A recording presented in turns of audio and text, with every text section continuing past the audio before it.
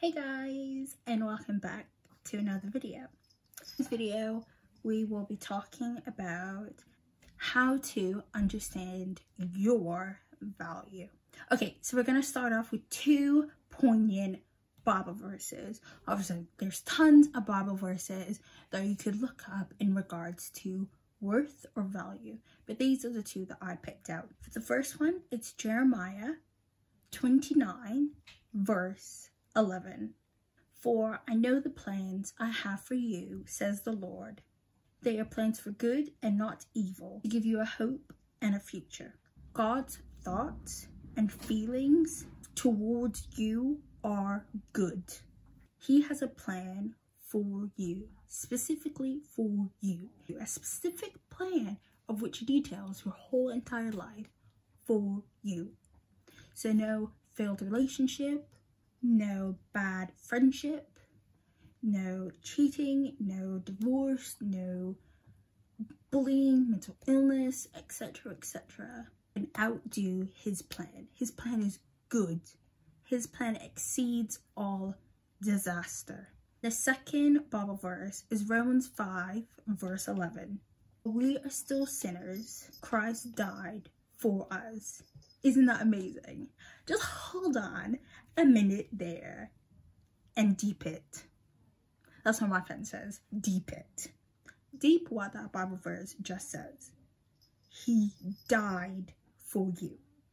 Meaning, the Lord loves you beyond words, beyond the capability of Him giving up His Son to die so that we as sinners could live. So when we are doing our foolishness, when we are sinning, and just remember that the Lord died for you so that you could have life. So whatever foolishness you are doing, stop. Toxic relationships. A few months ago, I, I took part in our women's Bible study and reread the book What Love Is by Kelly Minter poignant day, it was the topic of letting things just go. And I held so many things in my heart of what my emotions towards people and, you know, broken relationships and just my hurt and just things I wasn't letting go. And I thought as a Christian, you shouldn't let people go. You should, you know, hold them close to your heart. You should just smother them and let you know that I still care and I still love you and even if they don't respond back or they don't feel the same, well that's okay, that's okay. I'll just keep on showing them even though I'm hurting. Although yes, I did it in love, it was still hurting me. And the two eventually just clashed. They went like this. It they weren't it wasn't blending. I wasn't happy and you know that person still wasn't replying. And through that, my pastor actually said, Jodie, let it go. And I thought, you know what? I'm just going to let it go.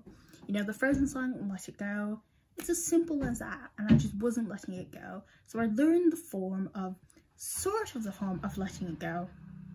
I mean, things still hurt me, don't get me wrong, and I still smother people, and I still want to let people know that I care about them. But there comes a time and a place where if that person isn't responding, if that person isn't responding to your phone calls or text messages, or you feel like the relationship isn't, feel the relationship isn't felt on both sides, let it go.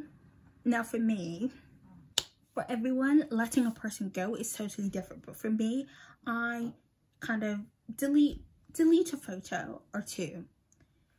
Delete their number. Still keep them on one social media, but just kind of delete their number or block their Instagram. Or I put things in place. So you know what? I won't text them. Or you know what? I won't look at their Instagram to see what they're up to. And then I'm putting myself at risk. I'm making myself sad when that's not the aspect of letting go. Say your boyfriend or your girlfriend broke up with you. Less texts and less phone calls. Let that go as well. Saying that, just don't be clingy. Do not be clingy because at the end of the day, you need to understand your worth and your value. If you're constantly texting them, or constantly phoning them, or constantly, you know, liking their photos on social media, you're not letting them see your value, your strength, your beauty, your intelligence, your sense of humor. You're leaving yourself open for failure and for criticism when they need to just see how much you are worth. For me, I say my final piece and I get it done. For some friendships, I've said, you know, look, I'm still really hurt about this. I will contact you when I feel best. And I've just left it at that. In certain situations, I've come back and I've been like, you know what? Merry Christmas, a happy birthday, blah, blah, blah. But that's the process that I'm going through. You, altogether, could delete the number and not talk to them again until they come to you. But it's everybody's personal decision. It's everybody's personal choice. Don't feel obliged to do what I do, girl. Do not feel obliged, or boy, don't don't feel obliged.